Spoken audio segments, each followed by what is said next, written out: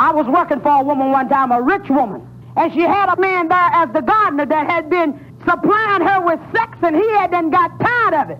He was making a decision that he was going to leave, and I heard him telling him, the day you leave here, I'm going to scream rape. And he come down in the kitchen. I said, I hope she break your neck. That's exactly what I hope she do.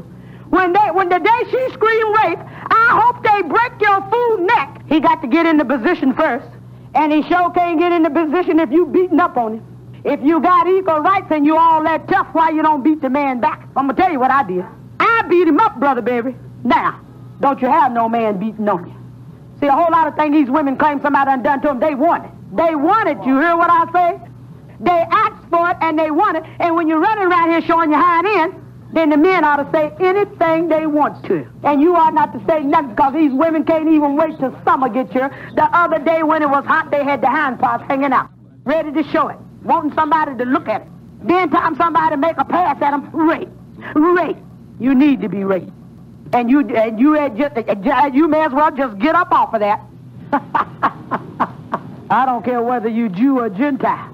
If you tell a lie, you tell a lie. Somebody say, "Oh, don't say that about the Jews, cause you got to support your community Jews." If you tell a lie, you tell a lie. And you got these folks to go to the priest. The priest. That one with the long garment on that God speaks about. You go to him and you pour your heart out. And then when you get through telling him, it went in one ear and come out the other because most of them like to drink wine and he going to get the wine bottle and get him some wine and drink it and he going to forget all about what you ever told him. Are you justified? Are you sanctified? Are you satisfied? Or are you cranktified? You know, we got some people that cranky. Are you cranktified? And you're no good in my book, and I'm going to tell you about it. You're no good traps. Don't mess with my tutu. Don't you put your hand on me unless I ask you to do it. If I didn't tell you to touch me, then don't you touch me. Because you ain't got no business with your hand on me to start with. You know how come so many single women in the world today? Because you can find a pair of breeches, but thing that's in the breeches that's supposed to be a man, ain't nobody getting married no more because you can't find no husband. And then the men like the men now and you and you had just you may as well just get up off of that.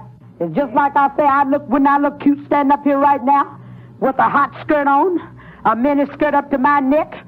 All these men in here, they ain't gonna get nothing out of what I'm talking about, cause they gonna be too busy looking at my thigh. Now, see a whole lot of things these women claim somebody done done to them. They want it. They want it. You hear what I say? They ask for it and they want it. And when you're running around here showing your hind end, then the men ought to say anything they want to. If you tell a lie, you tell a lie.